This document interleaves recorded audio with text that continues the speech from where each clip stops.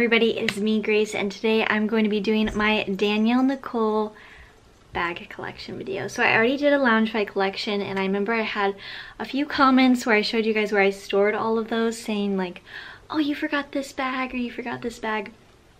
Not to worry, those are Danielle Nicole bags. If you're not familiar with Danielle Nicole, um, she makes lots of different types of Disney related or Harry Potter related or fandom related bags just like Loungefly does but she has a bit of a different style. I am so obsessed with Disney related bags or Harry Potter related bags or any sort of fandom that I can represent in my clothing. I just I absolutely adore. I have a lot less Danielle Nicole than I do Loungefly. They have a bit of a different style um, and different signatures but they are pretty similar so I would definitely recommend looking at both brands when you're looking for a cute park bag um, or if you're looking to grow your collection. I have two backpacks and three crossbody purses to talk about today so this is to be a very quick little video but let's just get into all of these wonderful wonderful bags the first one i have here is what the one that got me interested in Danielle Nicole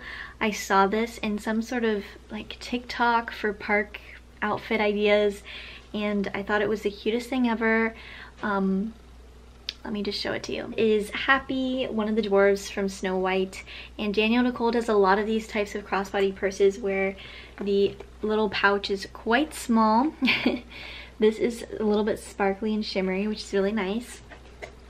So these types of purses are more just to like add to your outfit and be an accessory than to be very practical. Um, so a lot of people don't get these bags for that reason, but I think they're really fun to have if you're just gonna bring your keys, your phone, and some cards and cash, chapstick, you can fit all that in there. Um, but if you're going for a full day at the parks, this is definitely not the move. No. Anyway, it's so, so cute and so unique. Um, I feel like people either hate or love this style of bag.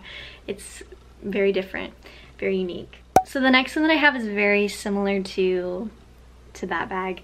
It is Dopey. This is the first Danielle Nicole bag that I ever got, I believe. I asked for it for Christmas.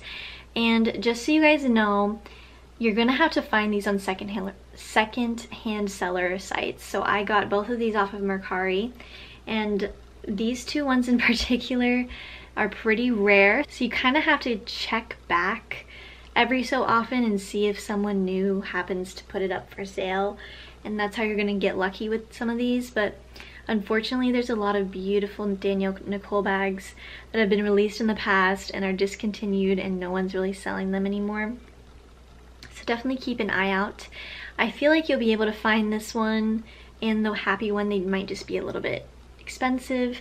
Um, I was able to get a good deal on this especially with Mercari. You can offer less than the price that's listed. So that's normally what I do just to see if someone takes my offer and it always saves me some money. These are seriously so cute and I know that it's a little bit silly that I have both of these dwarves, but honestly, I asked for this one for Christmas and I think I got the happy one for literally like 30 or $40 plus shipping. I think it was $30 or so. It was crazy and I was like, I cannot pass up the happy one and Dopey I got for Christmas. So I'm excited to wear both of them. And that's that. The back of this one is kind of like a circle shape versus the pouch. So that might be a little bit hard if you have a taller phone, but mine's pretty small, so it works out really well. The last purse that I have is so beautiful. I was so surprised that I was able to find it. It is this gorgeous Cinderella bag. I just love the look on her face in this bag. I think I had this in a recent Disney haul on my channel. Um, the back is so glittery. This is not being sold very often. I was so lucky when I saw this and I got it for a great price. The one that you might find a little bit easier on eBay and Mercari is the Cinderella winking bag. I'll put it right here for you. Um, that one's selling a lot more often.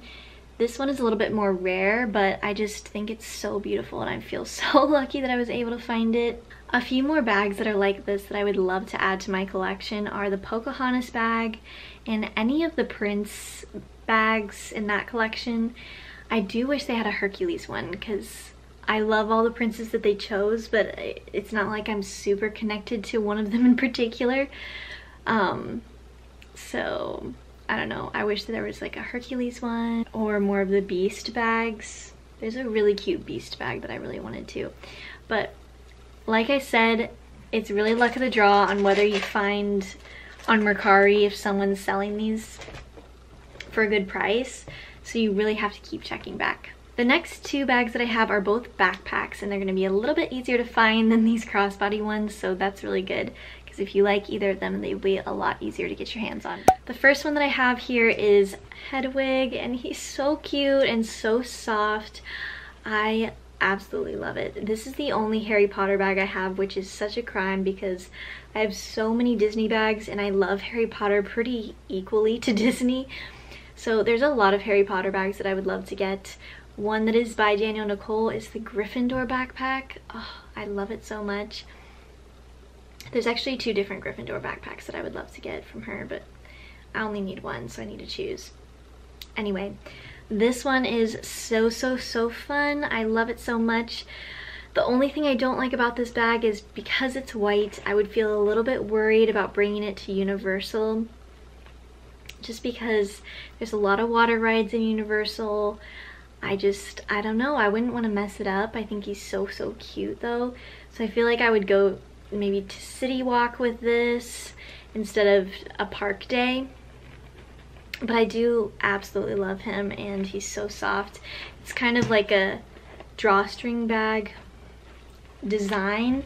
Um, on the inside of all Danielle Nicole bags is just her logo. I don't know if she does a fun inner lining for different types of bags. I've only seen her inner logo on mine so far. You can kind of see that it's just this material with her little, little logo. I don't know how well you guys can see that. The back of this one is a nice faux leather material. The straps are really nice as well. Very cute. Um, will fit a lot more, in my opinion, than a Loungefly. Danielle Nicole bags, are, her backpacks are always a little bit bigger than Loungefly, which I think is really ironic because her crossbody purses fit nothing, and yet she makes her backpacks more practical. She makes her backpacks more practical than Loungefly. Loungefly you can fit a lot of bags in, but she tends to have some side pockets and some it's a lot taller, good for water bottles, that type of thing. Alright guys, we're gonna end with my favorite bag that I own, and it'll probably always be my favorite bag, Loungefly included. It is so beautiful. I brought it to Magic Kingdom on my most recent trip it is stunning, you guys. You guys probably already know what I'm talking about because I've posted a million pictures with it. It is this absolutely beautiful Cinderella carriage bag. Um, you guys, this is so gorgeous. It came out pretty recently. The back is just a plain blue, all faux leather material. Um, one change that I did make on this bag is I switched out the keychain so this keychain is one that I found at the parks that I switched out because I thought it looked better than the original one. It is so cute. I'm so obsessed with it. Some nice side pockets as well. I absolutely love it. I hope you guys enjoyed this little collection video. If I get any Danielle Nicole bags in the future, maybe I'll make an updated collection or a haul. So make sure to subscribe if you haven't already because I post videos every Sunday here on this channel. Um, and let me know if you guys have any videos you want from me and I will definitely film them. You can leave me a comment down below. I would love to know. Thank you guys so much for watching and I hope you guys have a wonderful night. Bye!